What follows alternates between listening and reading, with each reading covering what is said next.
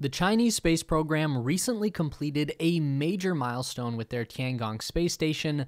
The third and final Mengtian research module was successfully docked to the station, bringing it up to full operation. Following the Tiangong's completion, the Chinese Shenzhou 15 spacecraft arrived to complete the first in orbit crew handover with a total of six taikonauts living and working on the station for the first time. By this point, we're all pretty familiar with seeing people on the International Space Station, so we have a pretty good idea about living in space. But life for Chinese crews on the Tiangong is like nothing else we've seen before in human spaceflight. So, let's take a look at what they've been working on up there in space. This is the space race. The Tiangong now consists of three modules, forming a T shaped space station that orbits around 400 kilometers above the Earth's surface. The Tianhe is the core command module, first launched in April 2021. The Wentian experiment module serves as a combination of crew quarters, research lab, and airlock, which was added in July 2022. And the Mengtian module is a twin to the Wentian and functions purely as a research and experiment space. The first thing that you'll notice about the interior of the Tiangong is that it looks spacious and wide open, especially when compared to the ISS. Tiangong has a very minimalist, modern design. What's interesting is that the outside diameter of the Tiangong modules are nearly the exact same as the diameter of the ISS modules, about 4.2 meters or 14 feet across. So the difference is in the volume of internal space available. There are a few reasons for that. For one, the ISS modules are typically much shorter with more connection points in between that create bottlenecks in the structure. For example, the Destiny Lab on the ISS, which is the primary operating facility for US astronauts, is 8.4 meters or 28 feet long while the Wentian and the Mengtian modules are both 18 meters or 59 feet in length. And secondly, the technology on Tiangong is just much more modern and therefore smaller and able to fit into smaller spaces. For example, many of the systems on Tiangong will connect wirelessly instead of having to run a labyrinth of cables around like what we see on the ISS. Also, much of the technology on the Tiangong is hidden behind these plain white panels when not in use. I don't know if that's more functional or aesthetic, or if they just don't want anyone else to be able to see what they're working on, but it does help make the station look very clean and modern. Spacewalks have become an exciting feature of life on the Tiangong.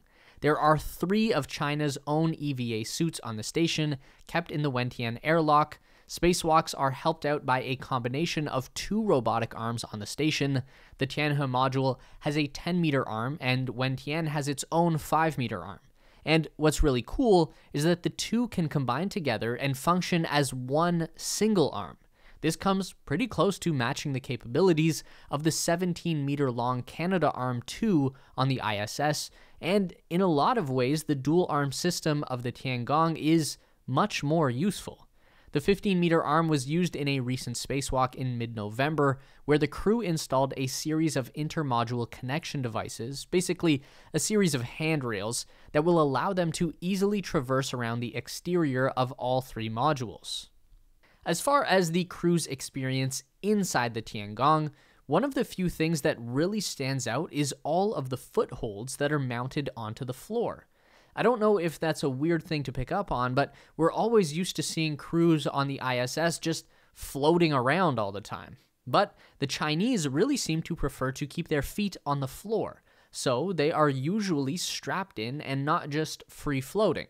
Whenever you see them posing for group photos, they are always standing up straight. The crew also sleeps straight up and down in a bag in one of six bunk areas. They're like a little alcove with a curtain that gives each person their own living quarters. There are three quarters in the core module and three more in the Wentian module. The standard crew count for the station will be three people, but that does expand to six for a few days during crew handover periods. Life has so far looked pretty comfortable for Tiangong crews. They are growing fresh lettuce and vegetables on board, and they get supplies of fresh fruit like apples. Tiangong even has the first space microwave. Galanz aerospace microwave oven was developed in China over a period of 10 years. It doesn't sound like much, but it is a pretty big deal to have a microwave that's usable in space. The ISS has never had one because the power draw would be too high. They use a food warming machine that adds hot water to their freeze dried food packets, but it takes like 20 to 30 minutes to heat up. The space microwave on Tiangong can heat up a meal for three crew members in just seven minutes. It had to be specifically designed not just to run on very low power, but also to survive the stress of a launch on the Long March 5B rocket. Working out is also really key to health while living in space. Crew members on the ISS have to exercise for at least two hours every day. It's important to maintain as much muscle and bone density as possible, and regular exercise also helps to prevent fluids from building up in the person's head. The Tiangong has a special treadmill and cycling station for cardio, pretty similar to what we've seen before on the ISS. The newer Chinese equipment is just much smaller and more integrated into the design. And for resistance training, the new Mengtian research module came equipped with a rowing machine. This is a bit different from the resistance machine they use on the ISS. That one allows the crew to perform movements that are really similar to squats and deadlifts with up to 600 pounds of resistance. I can't imagine any astronaut has ever pulled 600 pounds in space before, so the rowing machine is probably a smaller and more efficient way to get very similar muscle activation.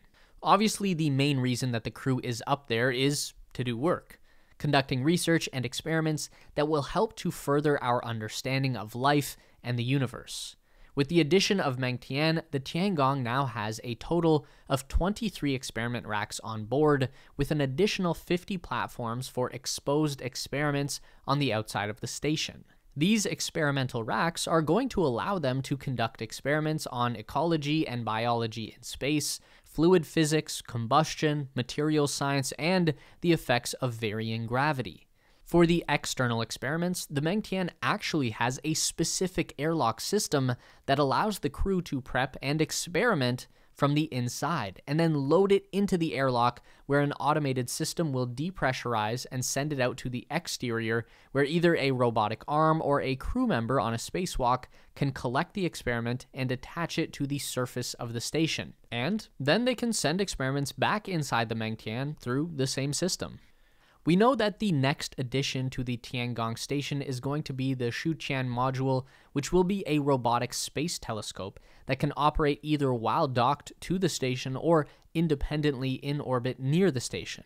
The telescope is still under development, but it is planned to have a 2 meter diameter primary mirror with a field of view around 300 times wider than the Hubble Space Telescope and use a 2.5 gigapixel camera.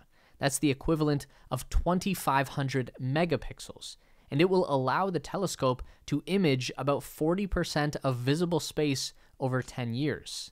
Beyond that, we already have word that China is considering another expansion to the Tiangong, commander of the space station system at the China Academy of Space Technology, Wang Xiang, said recently that following the current design, China can still add an extension module to dock with the forward section of the space station, and the extension module can carry a new hub for docking with the subsequent space vehicles. We know that China is still sitting on a backup version of the Tianhe core module. They made two just in case something went wrong with the first launch, so that could be added onto the existing structure to create more of a cross shaped station. The extra space would definitely be helpful in opening up possibilities for more international cooperation. As it stands, there will be nine international research projects arriving at Tiangong next year in 2023.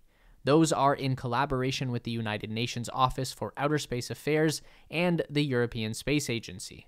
So that's a great start, but with the relatively small size right now of the Tiangong, we're not likely to see very many international crew members up there for a visit.